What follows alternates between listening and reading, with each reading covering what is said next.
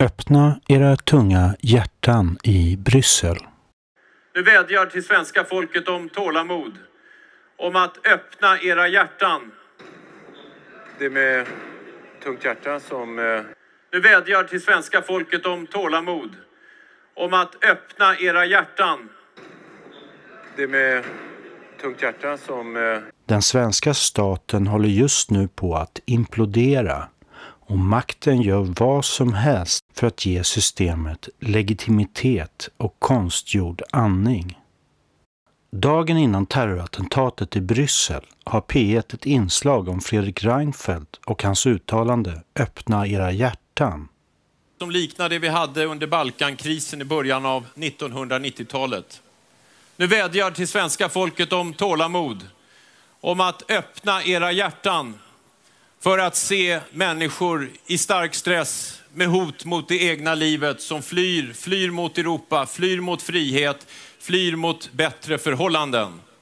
Bara några veckor efter att Fredrik Reinfeldt höll det där talet så förlorade Alliansen valet. Reinfeldt avgick och efterträddes på statsministerposten av Socialdemokraternas Stefan Löfven. Flyktingströmmen fortsatte att öka och under 2015 sökte fler än 160 000 människor asyl i Sverige. Och efterhand stängde både Europa och Sverige igen sina gränser med allt strängare krav för att få skydd. Och idag är samhällsklimatet ett annat. Så här lät det när statsminister Ulf Kristersson i Agendas partiledardebatt nyligen besvarade frågan varför Sverige har fått den våldsamma gängkriminalitet som vi nu ser. Jag tror inte att det går att komma ifrån att det är väldigt eh, hög invandring under mycket lång tid i kombination med dålig integration som har skapat detta. Det är i varje fall en mycket viktig andel av detta. Inte det enda, men det går inte att komma runt den frågan. De flesta inom både Moderaterna och Sverigedemokraterna verkar numera överens om att man står nära varann både i fråga om migration och om gängkriminalitet till exempel. Men det finns, precis som Jimmy Åkesson nyss påpekade, olika läger inom Moderaterna. Josefin Malmqvist var med i den grupp i partiet som analyserade valresultatet. Hon är också ordförande för Moderatkvinnorna. Hon menar att Moderaterna har lekt följa John med Sverigedemokraterna och att man förlorade många, särskilt kvinnliga väljare, på det. Det är med tungt hjärta som, eh, tungt hjärta som eh, vi konstaterar att den fotboll vi älskar nu har drabbats av ett svårt attentat här i Bryssel ikväll. Och eh, vi har svenska supportrar som offer, det är vad vi vet. Med tanke på gårdagens händelse i Bryssel ringer jag Si Holmgren som gjorde inslaget i söndags på P1 för att fråga om hon har reflekterat över sambandet. Ja, det är Si Holmgren. Hej Martin Stensö heter jag. Hej. Jo, jag lyssnade på Godmorgon världen i, i söndags. Ja, Och eh, jag reagerade nu eh, på det, det här inslaget om Reinfeldt. Det var du som gjorde det va? Jag vet inte om det handlade om Reinfeldt just, men ja, det jag gjorde, han hördes lite i det här reportaget. Visst, Ja, det, det, förklarar ju det att, var jag som gjorde det. det förklarar ju att han eh, 2015 var det väl som öppnade våra hjärtan, eller 2014 kanske då. 2014, sensommaren 2014. Har du reagerat på, på att det kom så bra i timing till vad som hände igår? Eh, vad hände igår? Det var terrorattentat i Bryssel och Reinfeldt var med på nyheterna hela tiden. Ja, Och- det har du rätt i. Det var han faktiskt, ja. ja. Men, Men du- nu tänkte jag att de hänger ihop.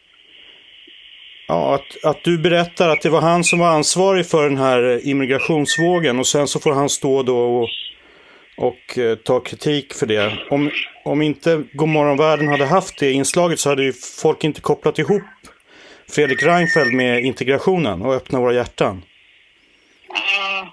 Det, det låter lite långsökt för mig. Alltså, han fick ju inte heller ta ansvar för utan det jag skulle skildra var ju skillnaden. Det var väl ingen som sa att det var något dåligt han gjorde. Dessutom påpekades det att det var sen efter att han hade slutat 2015 som den stora vågen kom. Ja, det skulle ju precis. vara skilda förändringar liksom över tid. Precis, men eh, jag, ville bara, jag undrade bara om du hade reflekterat över vilken timing det var på det och vad som Ja. hände igår. Men det hade du alltså inte gjort då? Nej, det har jag har faktiskt inte alls gjort och jag tänker att eh, han var ju med då som fotbolls... Eh, för att han nu är engagerad i fotboll. Jag tror verkligen inte att den här eh, belgiska killen gjorde något mot svenska fotbollssupportrar för att någon hade berättat för honom om ett inslag som gick igår om morgonvärlden. Varför skulle jag tro det? En snutt av Reinfeldt. Nej, det tror jag inte. Nej, det tror inte jag heller. Nej. Eh, men... Eh, Men, Ja. men varför kom det inslaget just i söndags? Har du, har du gjort, var det förberett sedan länge eller var det liksom... Ja, det var ju, jag jobbade med det under veckan. Det är ju moderatstämman nu eh, den här veckan. Mm. Så att det var liksom inför det eh, att Sverigedemokraterna har påverkat dem väldigt mycket och i allt de gör måste de förhålla sig till Sverigedemokraterna och nu har de partistämma och det blir spännande att höra hur de ska lösa det där. Liksom. Ja. Ja, Ungefär så. ja men okej, men då vet jag. Vad bra, tack för att du ringde. Tack. Hej. Hej. Jag tror att någon tyckte det var viktigt att medvetandegöra Fredrik Reinfeldts uttalande Öppna era hjärtan innan hans uttalande om terrorattacken i Bryssel. Kopplingen till invandringen och behovet av övervakningssamhälle verkar vara viktigt. Den svenska staten håller just nu på att implodera och makten gör vad som helst för att ge systemet legitimitet och konstgjord andning. Och just det, jag glömde en sak. Idag talar jag i Neumann KM64 från 1974. Tack för att ni tittade. Stötta kanalen swish 0735 30 95 07 eller paypal.me snedstreck Martin Stensson.